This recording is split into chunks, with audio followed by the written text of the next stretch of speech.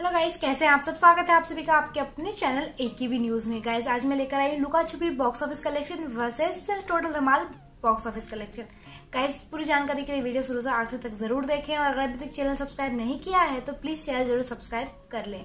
Guys, अगर बात करें लुका छुपी मूवी की तो गाइस इस मूवी को डायरेक्ट किया है लक्ष्मण उत्तेकर ने और प्रोड्यूस किया है दिनेश विजन ने। गाइस आपको इस मूवी में कार्तिक आर्यन और उनके साथ कृति सनेल और भी बहुत से कलाकार देखने को मिलेंगे। गाइस अगर बात करें इस मूवी के बजट की तो इस मूवी का बजट लगभग 25 करोड़ रुपए है।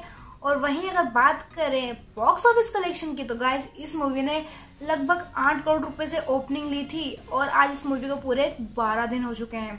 गाइस इस मूवी ने आज भी बहुत अच्छा कलेक्शन करते हुए डेढ़ करोड़ रुपए कमा लिए हैं और वहीं अगर बात करें इस मूवी के टोटल बॉक्स ऑफ़िस कलेक्शन की तो गाइज़ इस मूवी ने अब तक पिचासी करोड़ पचास लाख, यानी कि eighty five crore fifty lakhs कमा लिए हैं।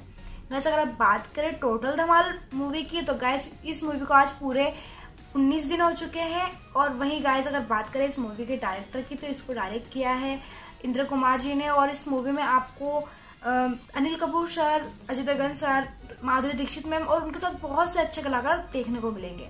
गाइस इस मूवी का बजट लगभग 115 करोड़ रुपए है।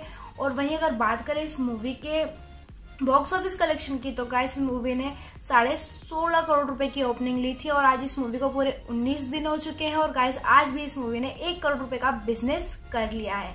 गाइस अगर बात करें इस मूवी के टोटल बॉक्स ऑफ़िस कलेक्शन की तो गाइस इस मूवी ने 204 करोड़ रुपए का बिज़नेस कर लिया है। और उम्मीद की जा रही है कि ये मूवी अब और भी अच्छा कलेक्शन कर सकती है। गाइज़ मूवी को लोग काफ़ी पसंद कर रहे हैं, क्योंकि एक फैमिली मूवी है तो इस वजह से ज़्यादा लोग पसंद कर रहे हैं। गाइस आप लोगों ने इन दोनों मूवी में से कौन सी मूवी देख ली है? मुझे कमेंट करके ज़रूर बताइएगा।